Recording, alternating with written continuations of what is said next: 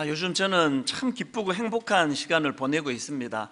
그 작년 연말에 제 마음에 그 영적으로 갈급함이 있었고 그리고 또 어, 겉으로 보기에 교회가 뭐 안정적으로 순탄하게 흘러가는 것 같지만 과연 하나님 보시기에도 그렇게 보실 것인가 이것들이 제 마음에 그 근심이 되었습니다.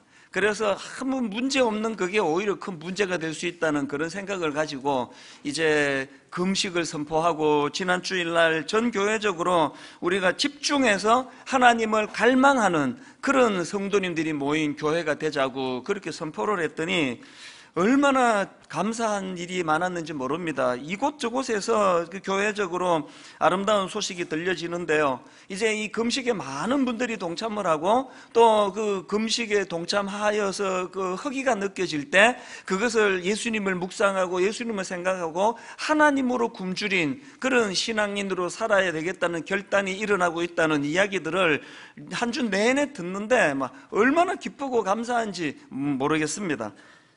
우리 교회는 앞에서 이렇게 피리를 불면 성도님들이 거기에 반응하고 그 춤을 추는 교회라는 것이 얼마나 내가 감사한지 모르겠습니다. 사실 저는 지난 연말부터 이 임재 혹은 임재의식 이 단어를 많이 묵상을 하면서 시간을 보내고 있는데요. 지난주에도 저는 이 임재 혹은 임재의식이라는 이 단어를 가지고 많은 묵상을 하면서 시간을 보냈습니다. 그리고 최근에 그 하나님의 임재 연습이라는 책이 있는데요.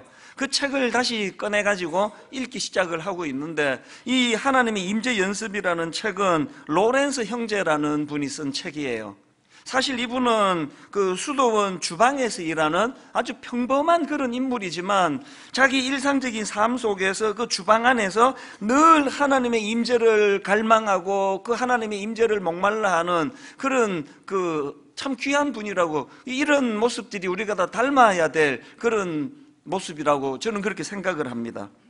왜 우리가 일상생활 속에서 우리와 함께 하시는 하나님을 늘 인식하고 또 그분으로 그분을 갈망하는 그런 삶을 살아야 되느냐? 왜 그래야만 되느냐? 그건 주님께서 이렇게 말씀하셨기 때문입니다. 내가 세상 끝날까지 너희와 항상 함께 있으리라. 이 하나님의 말씀 우리가 믿기 때문에 우리는 그 박제된 호랑이 이게 뭐 모양은 다 호랑이고 막 그냥 상틀 것 같은 포즈를 취하지만 그 호랑이는 죽은 호랑이에요. 우리는 그 죽은 호랑이를 쫓는 것 같은 신앙생활이면 안 됩니다. 살아있는 호랑이, 생생하게 입김이 나오고 그 포효가 나오는 살아있는 호랑이를 추구하는 이 성경 읽기도 마찬가지 아닙니까? 성경을 뭐 죽으라고 안 읽기도 하지만 읽는 분들도 이게 혹시 여러분 이게 이게 죽은 옛날 어, 죽음이 아니라 그, 그, 그, 그 관계가 끝난 옛날 애인 편지권에 읽듯이 읽으시면 그 아무 소용이 없습니다. 이 하나님의 말씀은요 그 헤어진 옛날 애인을 그리워하면서 읽는 그런 책이 아니에요. 내 진짜 내 인생의 애인 되시는 나를 너무나 사랑하시는 오늘도 나와 깊이 아름다운 교제를 갖기를 원하시는 그 하나님의 생생한 음성이 담겨져 있는 게 그 성경 아닙니까?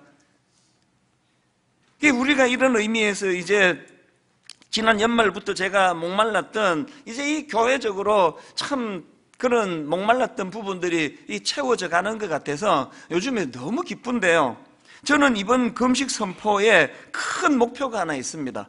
이렇게 여러분이 주님 앞에서 육신의 금식을 통해서 하나님으로 목말라 하고 하나님으로 굶주려 하는 이 갈망이 하나님 앞에 드러나게 될 때에 모든 분들이 저는 창세기 28장 16절의 고백이 있기를 바랍니다. 야곱이 자기 멋대로 인생을 영위하려다가 덧나가지고 광야에 내 던져지는 삶을 살게 되었는데 그 광야에서 야곱이 던졌던 고백이 창세기 28장 16절 아닙니까? 여호와께서 과연 여기 계시거늘 내가 알지 못하였도다.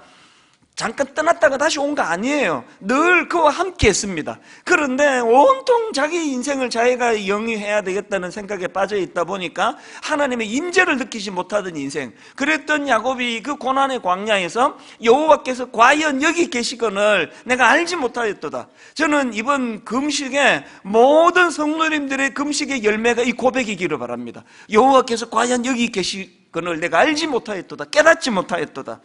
여러분, 여러분의 자녀들이, 여러분의 배우자가, 여러분의 부모님이 이런 고백을 하게 된다면요. 여호와께서 과연 여기 계시거늘 내가 알지 못하였도다. 수많은 모태 신앙인들 입술에서 이런 고백이 흘러나오게 될 때에 교회의 부흥이 시작되는 줄로 믿습니다. 이런 점에서 저는 하나님의 임재를 통해서 오랜 인생의 방황을 끝냈던 한 인물, 그 한 인물을 소개하기를 원하는데 바로 오늘 본문의 주인공 모세가 그 바로 그 사람이에요. 여러분 다 아시지만 모세는 어릴 때 이집트 공주에 의해 양자로 입양이 되어 가지고 왕궁에서 자랐던 사람이에요. 그랬던 그가 자기 동족 히브리 사람이 이집트 사람에게 매를 맞는 것을 보고 그 이집트 사람을 죽입니다. 그리고 그것이 이게 덫이 나가지고 잘못돼 가지고 미디안 광야로 숨어 들어가는데 무려 40년의 세월을 그 미디안 광야에서 도망자 신세로 전락을 합니다.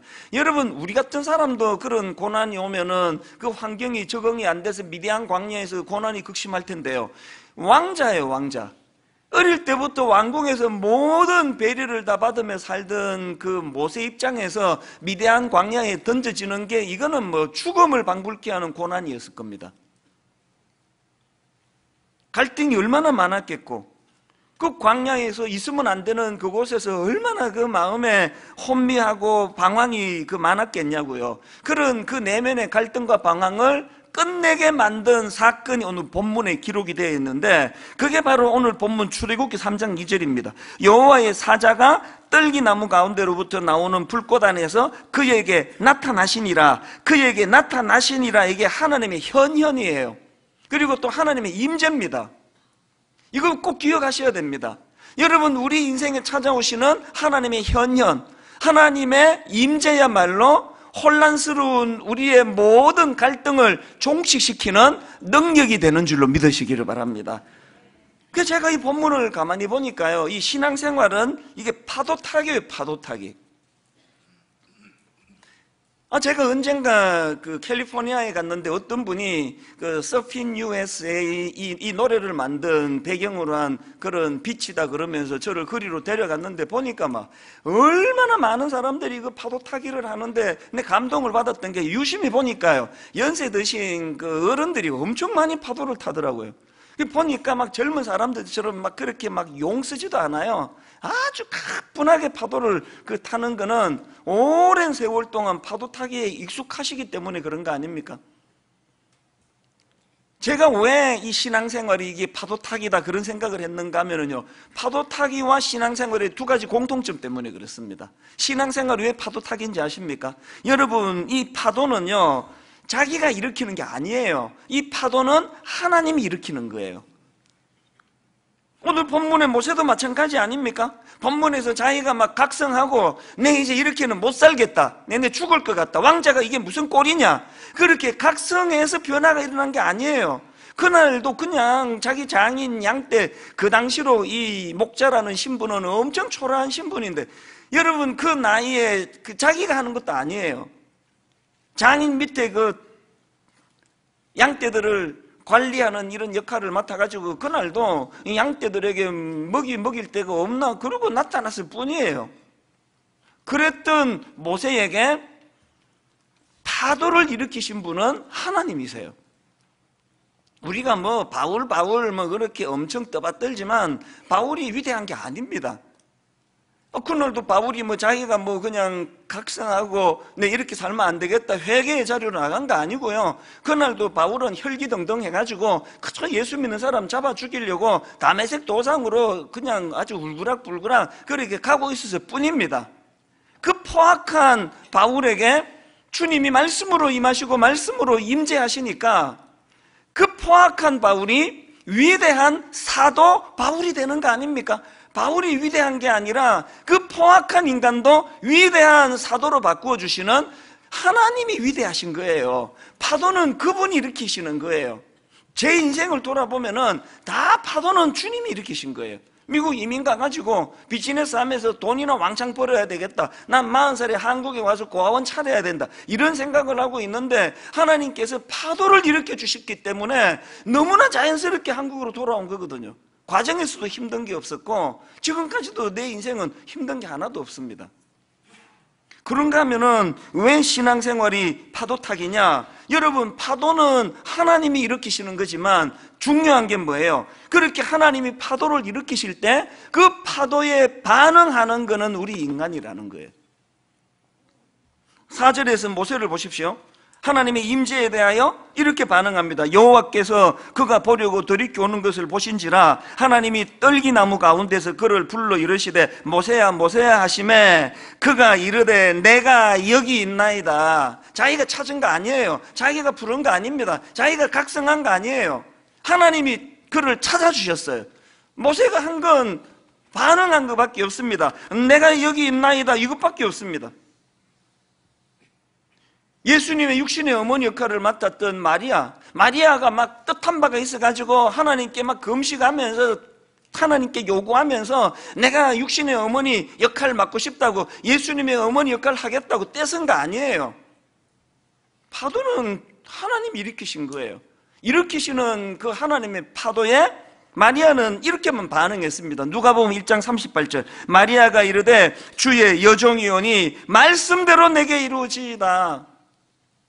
파도 일으키는 건 너무 어려워요. 불가능한 일입니다. 그러나 하나님이 일으키시는 파도에 말씀대로 이루어지다 반응하는 것은 쉬운 일 아닙니까?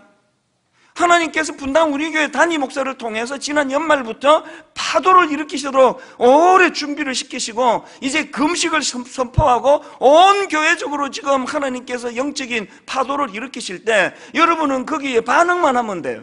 내쓱 보니까 지금 누가 금식했고 누가 안 했는지 확 표시가 나요. 얼굴에 막 윤기가 잘잘 흐르는데 근심이 많아 보이는 그분은 안 하고 있는 거예요. 박 집사님 그 하세요 금식. 파도를 일으키는 게 어려운 거지. 거기에 내 몸을 맡기는 거는 하나도 어려운 일 아니지 않습니까?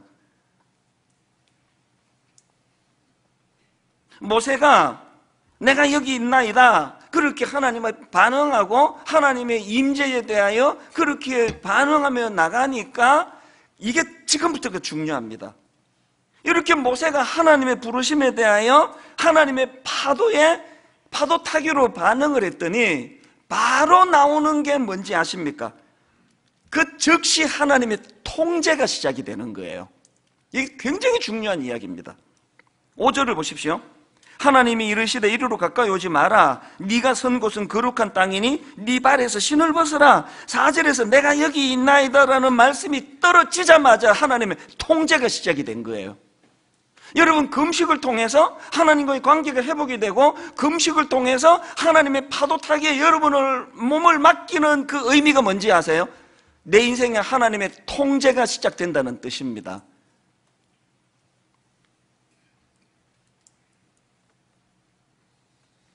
영어로 종교를 religion이라 그러지 않습니까? 근데 이 영어 단어 religion이라는 이 단어는 라틴어로 리, religio에서 나왔는데요. 이 religio라는 단어는 묶다라는 뜻이랍니다. 뭘 의미합니까? 여러분 제대로 신앙생활을 한다는 건 하나님과 나를 묶는 거예요. 그 우리 초등학교 다닐 때 그 가을에 운동회 할 때 2인 1조 발 묶어 가지고 뛰는 거 얼마나 불편한지 아시죠? 이만 그냥 막 나 혼자 뛰라 그러면 막 냅다 그냥 달리겠는데 이 상대방하고 보조를 맞추면서 그렇게 그렇게 골을 향해 달리는 게 발 묶고 뛰는 거 아닙니까? 제대로 된 신앙은 하나님과 내가 발을 묶는 거래요. 하나님의 통제가 시작이 된 거예요. 하나님 없이 살 때 좋았죠. 누가 날 통제합니까? 막 살 수 있는데 제대로 신앙생활 하는 건 하나님의 통제가 시작이 되는 거예요. 하지 마라! 해라! 막 이런 게 얼마나 많으냐고요.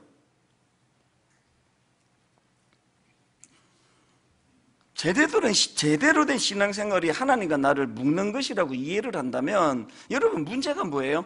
뭐 예배도 잘 드려요. 뭐, 막 봉사도 잘하고, 막, 막 또, 또, 또, 성김도 잘해가지고, 막, 이웃도 잘 섬기고, 막, 헌금도 많이 해요.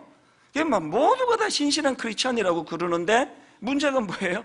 결정적으로 일이 생기면 지 혼자 냈다 달려버리는 걸 뭐. 모든 부모들이 자기 자식들에 대해서 특히 어린 자식들에 대해서 분노하는 게 뭐예요? 뭐 밥도 같이 먹고 뭐 애교도 부리고 한 집에 잘 살아요. 관계도 좋습니다. 막 살살 아빠 사랑해요. 뭐 이런 소리도 잘해요. 용돈 탈 때. 그렇게 관계 좋은 것 같은데 결정적으로 뭐 결정할 때 보면 지 혼자 하고 있단 말이에요. 지 혼자. 이 대부분의 가정에서 일어나는 일들 아닙니까?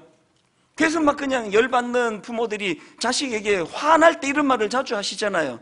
너한테 나는 무슨 의미냐? 돈 대주는 물주냐 나는? 너한테 나는 뭐야 도대체? 이렇게 리얼하게 표현할 수 있다는 게 뭘 의미하는지 좋은 자식은요 막 그냥 부모 모시고 식사 대접하고 막 안마해 드리고 말벗대 드리고 이것도 좋은 자식이지만 결과적으로 부모랑 자기 인생을 상의할 줄 아는 자식 이거 어떻게 하면 좋아요? 엄마의 경험으로 아빠의 경험으로 이거 어떻게 생각하세요? 좋은 크리스찬은 주님과 더불어 발 묶고 뛴다는, 뛰는 거라니까요. 그 제가 우리 집에 새아이에게 요즘 종종 하는 말이 네 인생의 결정적인 중요한 포인트가 하나 있다면 네 인생에 코치가 필요하다 코치가 그 김연아 같은 대선수도 코치가 있잖아 코치가 하라는 데까지 하고 지시하는 데 따르는 코치가 있잖아 네 인생에 코치가 있니? 하나님이 네 인생의 코치가 되도록 해야 돼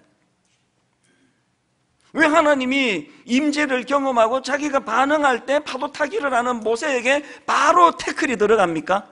신벗어라! 왜, 왜, 왜 하나님의 그 태클이 통제가 바로 들어가느냐고요? 그게 신앙이에요.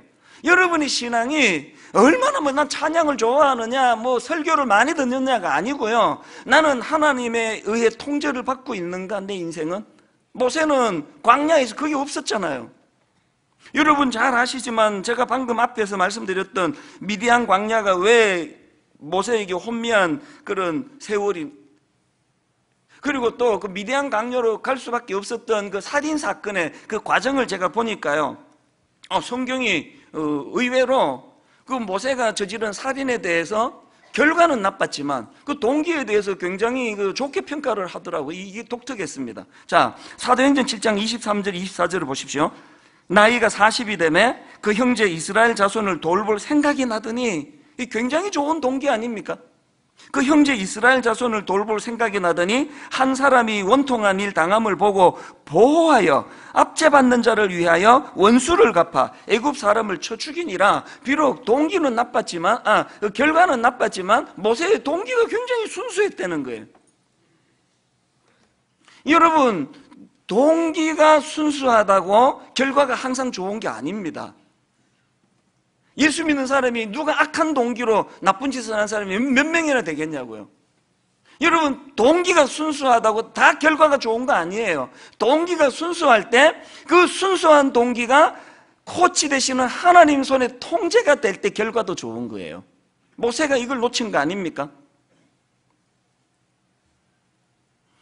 여러분, 여러분의 삶을 되돌아보시면 동기부터 악했던 건 뭐 처음부터 사기 쳐먹으려고 막 이랬던 악한 사람하고는 좀 다를 거예요. 여러분 동기가 그렇게 나쁘지 않았는데 왜 정신 차리고 보니까 왜 미디안 광야를 배회하고 계시느냐고요. 왜 그렇습니까? 왜 모세는 그렇게 순수한 동기로 자기 민족을 사랑한 걸로 시작했는데 왜 사람을 죽이고 광야에 던져지는 비참한 결과를 경험했냐고요? 이 질문에 대한 답을 저는 오늘 본문 출애굽기 2장 11절 12절에서 찾습니다. 자, 잘 보십시오. 모세가 장성한 후에 한 번은 자기 형제들에게 나가서 그들이 고되게 노동하는 것을 보더니 어떤 애굽 사람이 한 히브리 사람 곧 자기 형제를 치는 것을 본지라 그다음 보세요. 좌우를 살펴 사람이 없음을 보고 그 애굽 사람을 쳐 죽여 모래 속에 감추니라. 왜 동기는 좋았는데 결과는 사람 죽이고 광야로 쫓겨나는 결과가 있었냐고요? 왜 그랬냐고요? 모세는 하나님의 임재가 뭔지를 몰랐습니다. 하나님 의식하는 삶이 뭔지를 몰랐습니다. 좌우를 살펴서 사람 하나 보면은 죽이는 일, 뭔, 뭔 일 다 할 수 있는 게 그게 모세였단 말입니다.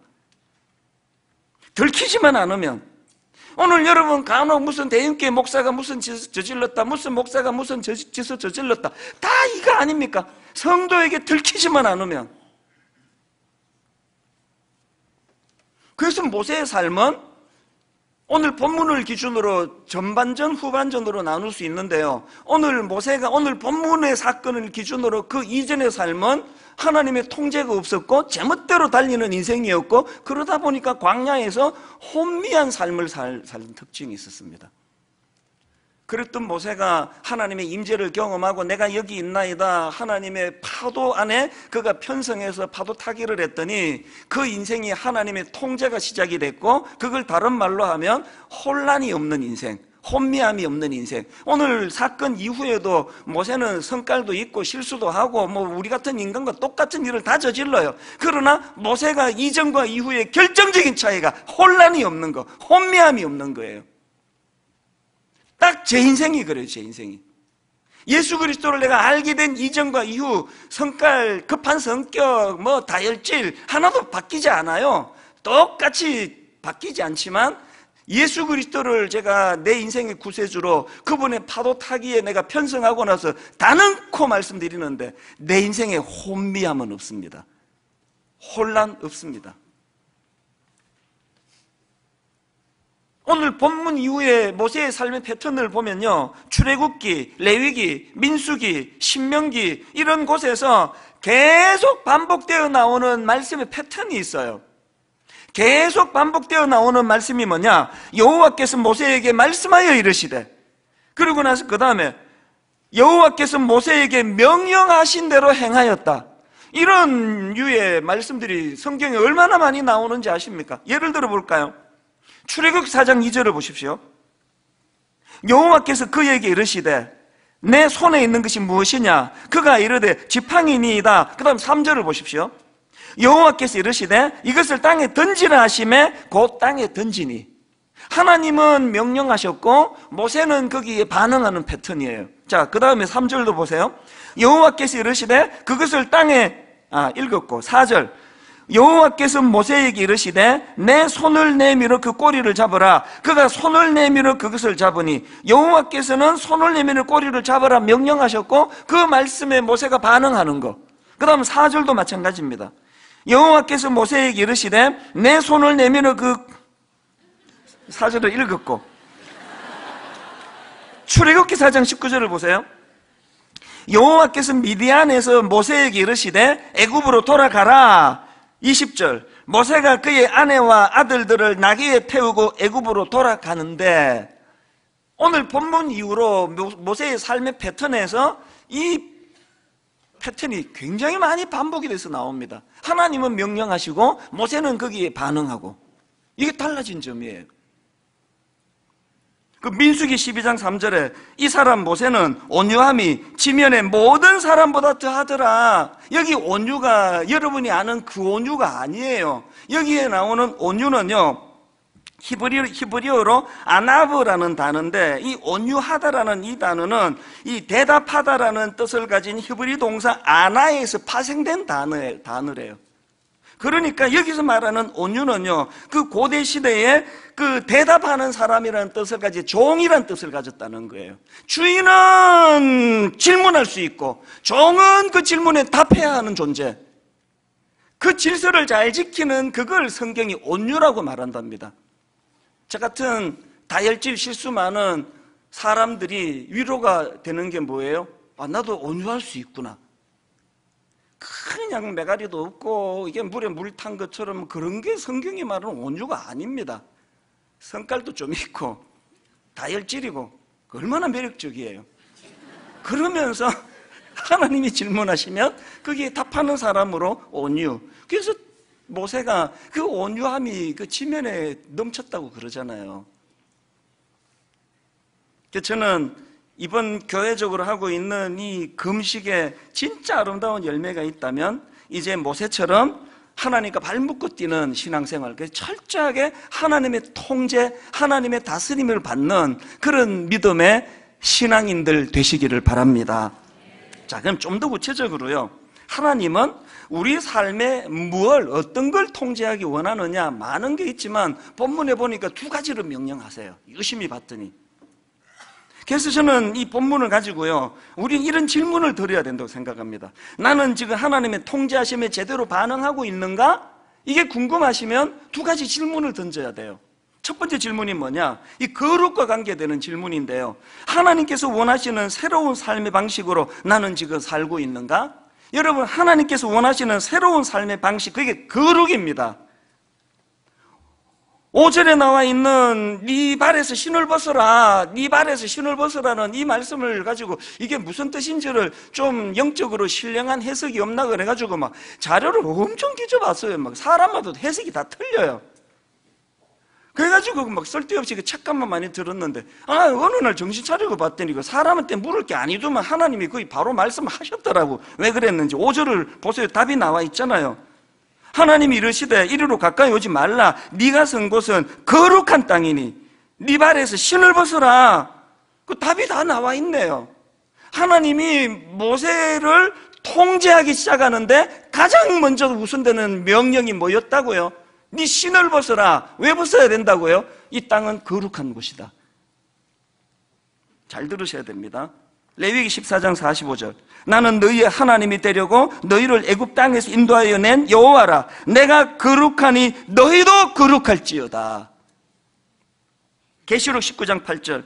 그에게 빛나고 깨끗한 세마포 옷을 입도록 허락하셨으니 이 세마포 옷은 성도들의 옳은 행실이로다 하더라 여러분 여러분의 금식을 통해 가지고 하나님 임재를 경험하고 여러분 그냥 툭 튀어나오는 거짓말.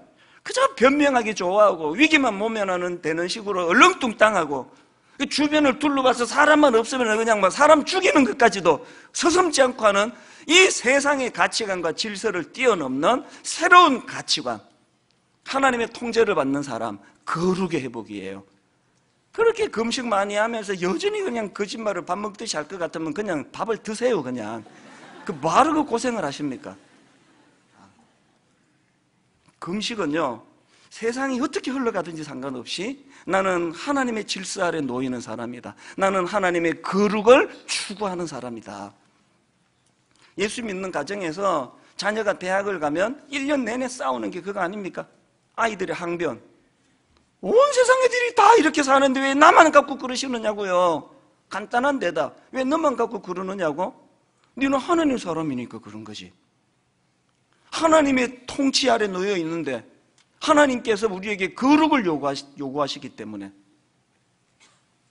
저는 이번 금식이 저와 여러분의 이 하나님의 새로운 삶의 방식, 하나님의 이 질서를 순종하며 나가려고 노력하는 엄청난 능력을 부여받는 금식이 되기를 바랍니다. 그런가 하면 두 번째로 우리가 이 질문 던져야 돼요. 나는 하나님의 통제하심을 제대로 어, 반응하고 있는가? 이게 궁금하시다면 이거 두 번째 사명과 관계되는 질문을 던져야 됩니다. 나는 하나님께서 원하시는 새로운 삶의 목표를 갖고 있는가? 아까 하나님이 임재를 통해 모세를 통제하기 시작할 때 첫 번째 통제가 신발을 벗어라. 거룩의 문제라면 두 번째는 유심히 보니까 두 번째 명령이 있더라고요. 그게 뭐냐? 구절을 보십시오. 이제 가라! 이스라엘 자손의 부르짖음이 내게 달하고 애굽 사람이 그들을 괴롭히는 학대도 내가 보았으니 이제 내가 너를 바로에게 보내어 너에게 내 백성 이스라엘 자손을 애굽에서 인도하여 내게 하리라. 신발을 벗으라는 명령에 바로 연이어 나오는 명령이 가라는 거예요. 애굽의 종살이로 신음하고 있는 내 백성을 위하여 사명을 가지고 가라. 만약에 여러분 모세가요 첫 번째 명령에 막 그냥 뿅 가가지고 막 여기 이 거룩한 땅 내가 발견해 여기가 좋사오니 그러고 막 텐트 치고 신발 벗고 거기 들어가지고 주님과 더불어 누리기만 하기로 했다고 한 치자고요. 그 신음하는 백성들은 어떻게 하는 겁니까? 어떻게 해야 됩니까? 오늘 우리 교단 또 저희 같은 보수 신앙이라고 자랑하는 사람들이 갖고 있는 치명적인 결함이 이거 아닙니까? 이게 막 금식하고 막 임재 경험하고 막 이거 뭐약 먹은 사람처럼 헬렐레하고 하나님이 그걸 원하는 게 아니에요. 우리가 왜 거룩을 해야 되는, 되느냐고요? 이 악한 시대와 세상에 영향력을 미치기 때문 아니면 미쳐야 하기 때문에. 저는 지금 그 이번 3일절이 100주년이에요, 100주년. 100년 전에 그 3일 운동이 일어났잖아요. 요즘에 제가 얼마나 여러 가지 생각에 사로잡혀 있는지 아십니까? 여러분 그 3.1 운동 때 여러분 잘 아시는 독립선언서에 서명한 33인의 민족 대표 이 민족 대표라는 이 말이 갖는 그 의미가 얼마나 가슴 벅찬 이야기예요 요즘에 제가 무슨 생각에 빠져 있는지 아십니까? 여러분 그 33인의 민족 대표 중에 16명이 크리스찬이었어요 왜 이게 의미가 있는지 아십니까? 이 100년이 됐다니까 언제 일어난 운동입니까? 1919년이에요. 1919년이 뭘 의미하는지 아십니까? 우리나라 한국 기독교가 1884년 그렇게 선교가 시작됐으니까 3.1 음, 운동이 일어난 건 복음이더라고 35년밖에 안 되던 때예요. 그때는 남북 분단되기 전 아닙니까? 남쪽 북쪽 다 합쳐가지고 예수 믿는 사람 20만 명밖에 안 될 때예요. 20만 명 크리스찬밖에 안 되던 35년대 요즘으로 말하면 이게 신흥 종교 아닙니까? 예수라는 이름을 듣도 보도 못한 사람이 거의 뭐 태반이었을 거예요. 그 20만 예수라는 이름도 들어본 적이 없는 그 작은 기독교에서 민족 대표 33명 중에 16명이 크리스찬이었다는 게 이게 얼마나 우리 마음을 쓰리게 하는지 아십니까? 오늘 우리가 잃고 있는 게 뭐예요? 막 그냥 금식하고 은혜 받고 하나님 임재 경험하고 막 산으로 들어가고 점점 개인 종교고 심화되고 이기적이 되고 근데 이런 생각을 해보는 거예요 이걸 이 시대에 이런 3.1 운동 같은 만세 운동이 일어났다고 쳤을 때 33명 중에 크리스찬 대표가 3명 나올까? 지금 3명 나올까요? 영향력으로 쳐서? 저는 지난 17년 동안 교회 개척하고 교회 앞에 이 구호요. 함께 울고 함께 웃는 분당 우리 교회 너무너무 아름다운 구호라고 생각합니다. 이 구호가 너무 멋졌어요. 근데 여러분, 저는 지난 연말부터 구호를 바꾸려고 생각합니다. 바꿔야 돼요, 이제. 언제까지 함께 울고 함께 웃는 그런 문 닫아놓고 우리만의 즐거움이 언제까지 노래 불러줘야 되느냐고요. 구호 바꿔야 됩니다. 어떻게 바꿔야 될까요? 우리를 넘어 세상으로 우리를 넘어 세상을 향해 그 요즘에 저는 나, 우리, 세상 이 세 단어를 많이 주목을 합니다 나에서 우리로 전환돼야 되고 우리가 세상을 향해야 돼요 신버스라 그랬다. 난 거룩을 지킬 거야. 땅굴에 들어가 가지고 40일 뭐 금식하고 그런 것도 아름답지만 이제는 주님께서 신음하는 내 백성을 향하여 네가 가라. 사명이 회복되는 금식 기간 되기를 바랍니다. 오늘 3월 1일 다락방 금식 집회를 지금 준비하면서 너무너무 마음이 설렙니다. 저는 오늘 3월 1일 점심, 저녁 그 다음에 그 다음날 3월 2일 아침 전 교회적으로 세끼 금식을 선포합니다 왜 아침, 점심, 저녁이 아니고 점심, 저녁, 아침인지 아세요? 그게 더 길어요 더 괴롭히려고. 3월 1일 세끼 금식을 하면서 우리 순장님과 순원이 함께 모여 나와 우리로 시작을 하여 하나님 앞에 오전에 함께 기도하고 그리고 오후에 그 우리가 세상을 향하는 것으로 이 조국과 민족을 향한 기도로 이것이 열기가 옮겨가고 그리고 저녁 오후에 순장님과 순원들이 함께 모여서 같이 기도하고 그 다음 날에는 교회가 홈페이지 오시면 다 그거 시간 어떻게 쓸 거라고 다 가이드를 드릴 겁니다. 새끼 금식을 하면서 아버지 파도를 일으켜 주시는 그 하나님 앞에 반응하는 저희가 되기 원합니다. 파도를 일으켜 주시는 그 하나님 앞에 한편으로는 거룩을 꿈꾸겠습니다. 담임 목사부터 누가 보나 안 보나.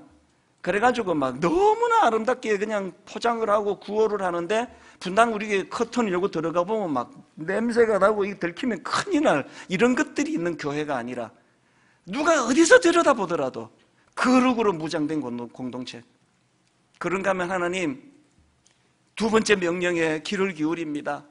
신음하는 내 민족 내 백성을 향하여 너는 가라 그 말씀 앞에 새로운 도전을 받고 새로운 목표의식을 가지고 그렇게 사명을 향해 달려가는 저와 여러분 되기를 주님 이름으로 축복합니다. 결론을 이렇게 맺기 원합니다. 9절에서 하나님이 명하십니다. 이제 가라. 이스라엘 자손의 부르짖음이 내게 달하고 애굽 사람이 그들을 괴롭히는 학대도 내가 보았으니 이렇게 말씀하시니까 모세가 묻습니다. 11절. 모세가 하나님께 아뢰되 내가 누구에게 바로에게 가며 이스라엘 자손을 애굽에서 인도하여 내리니까 너무 오래 광야에서 혼미한 인생을 보내놓으니까 자신감을 다 잃었어요. 난 뭐라고 내가 그런 일을 합니까? 나는 그런 자격이 없습니다. 나는 못합니다. 나는 그런 일에 쓰임받을 사람이 아닙니다. 그렇게 열등감으로 신음하는 낮은 존재감을 표현하는 모세에게 하나님이 복잡한 설명 안 하세요.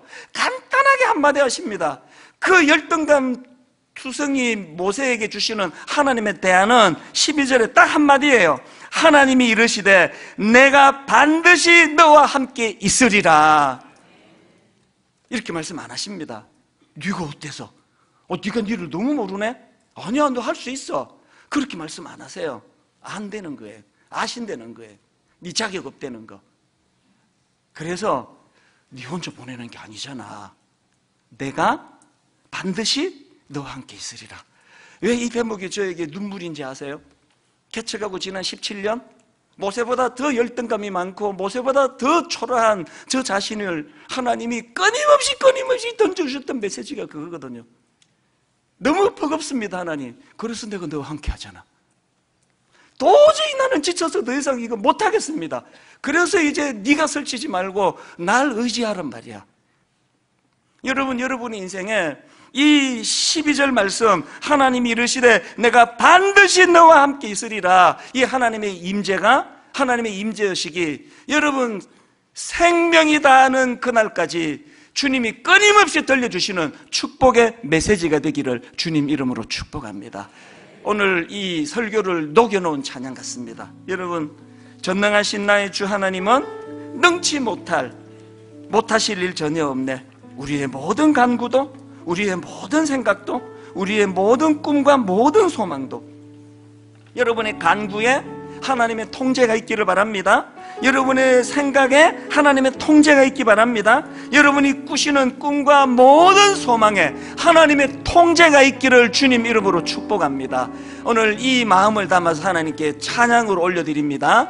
이렇게 찬양하십시오. 전능하신 나의 주 하나님은 하신 나의 주 하나님을 선포하십시오. 능치 못하실 일 전혀 없네. 우리의 모든 간구도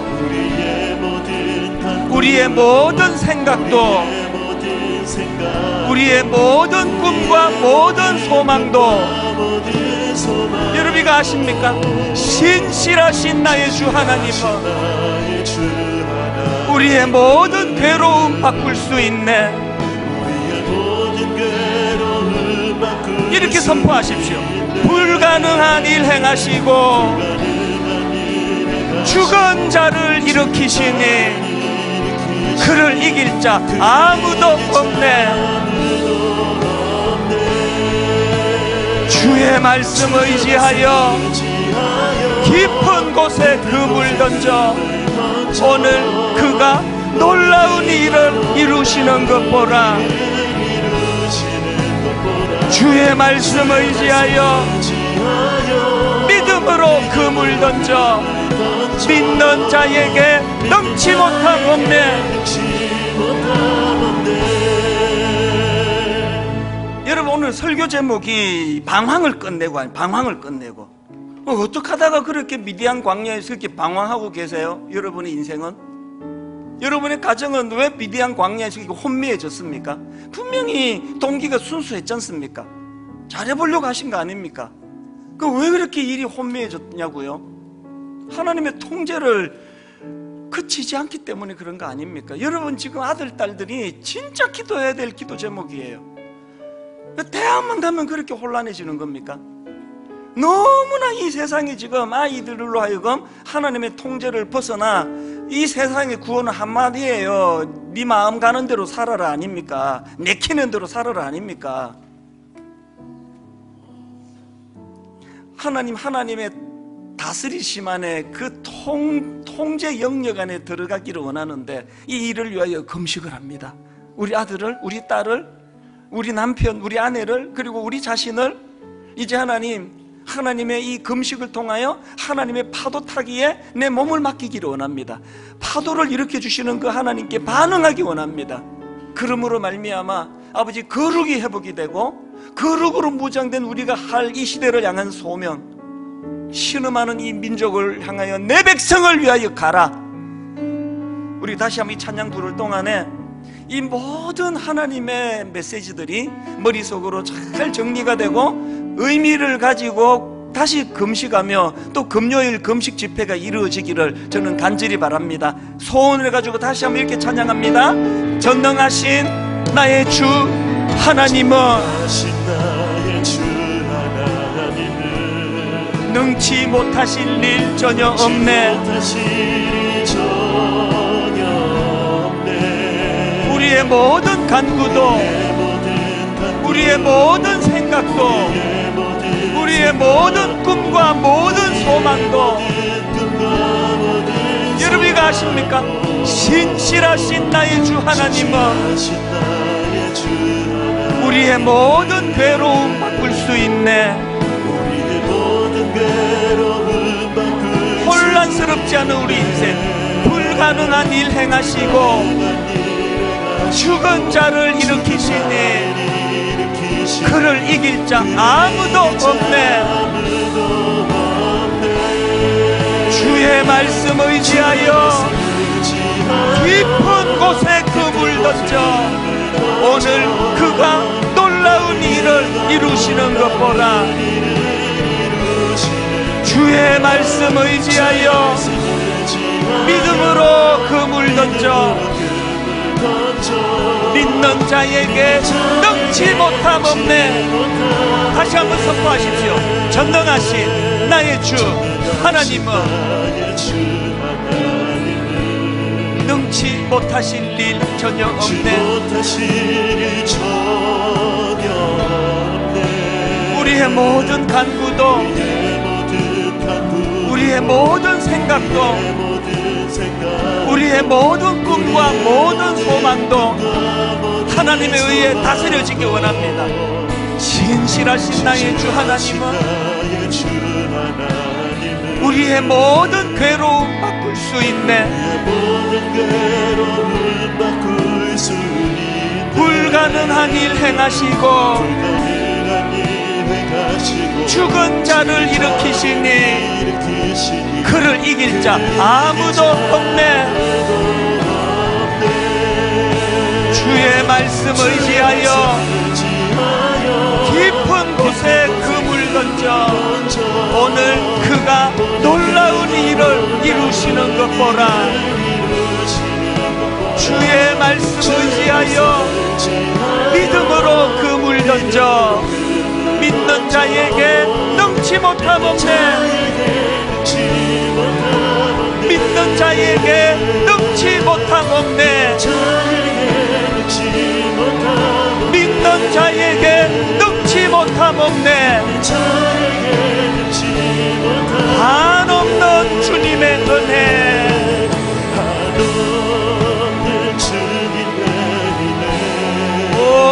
세상 위에 넘칩니다. 가릴 수 없는 주 영광 온 땅 위에 충만합니다. 주님만이 길이 오니 우린 그길 따라갑니다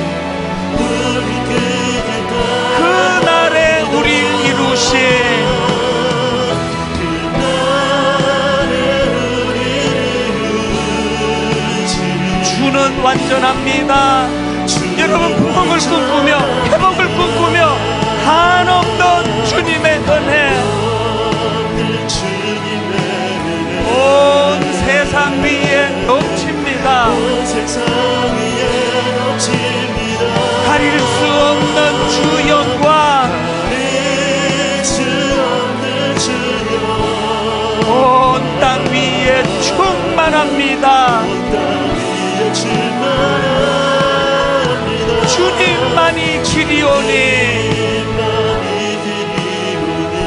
우린. 우리 그길 따라갑니다 그날에 우리 이루신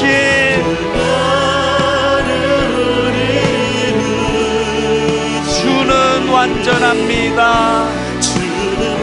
우리 다 자리에서 일어나셔서 주여 연약합니다. 우리 연약합니다 우린 오늘을 힘겨워합니다. 주 뜻 이루며 부족합니다. 살기에 부족한 정직한 우리의 고백, 우린 우린. 연약합니다 주여, 우린 넘어집니다. 오늘 하루 또 실수합니다. 그래서 구하고 또 구하는 것 주의 긍휼을 구하는 죄인입니다. 우린 주만 바라봅니다. 한없는 주님의 은혜,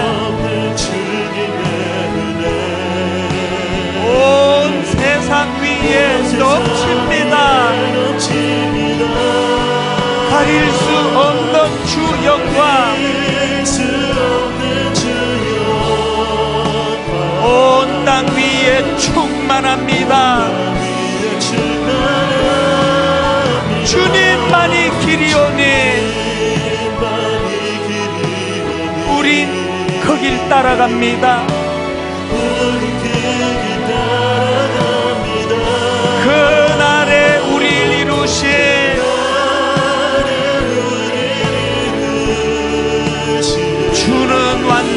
완전합니다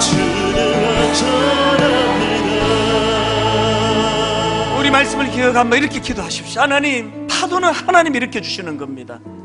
그 파도에 반응하는 건 우리의 몫입니다. 금식하며 하나님의 임재를 갈망합니다. 아버지 마음에 소원을 가지고 기도하며 나가기 원합니다. 통성으로 같이 이 시간 함께 기도하십니다. 같이 기도하시겠습니다. 살아계신 하나님 아버지, 오늘 아버지 마음의 소원을 가지고 하나님 갈망하며 기도합니다. 하나님 금식하며 기도하는 모든 성도님 성도님들마다 하나님을 목말라 갈망합니다. 하나님을 목말라 갈망하며 주님 앞으로 나가기 원합니다. 하나님의 굶주려 있기를 원합니다. 하나님으로 굶주려 있기를 원합니다. 하나님 아버지 파도를 일으켜주시는 그 하나님 앞에 내가 여기 있나이다 반응하는 모습 되기 원합니다. 하나님의 통제권 아래 놓이기를 원합니다.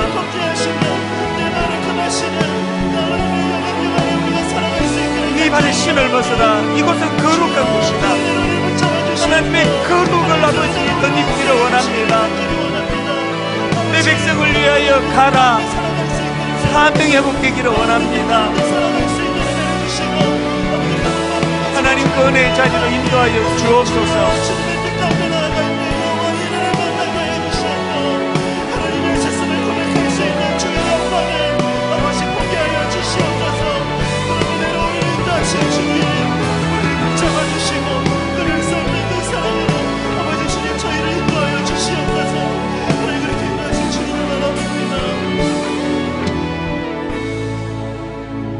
모세가 하나님께 아뢰되 내가 누구이기에 바로에게 가며 이스라엘 자손을 애굽에서 인도하여 내리이까 하나님이 이르시되 내가 반드시 너와 함께 있으리라.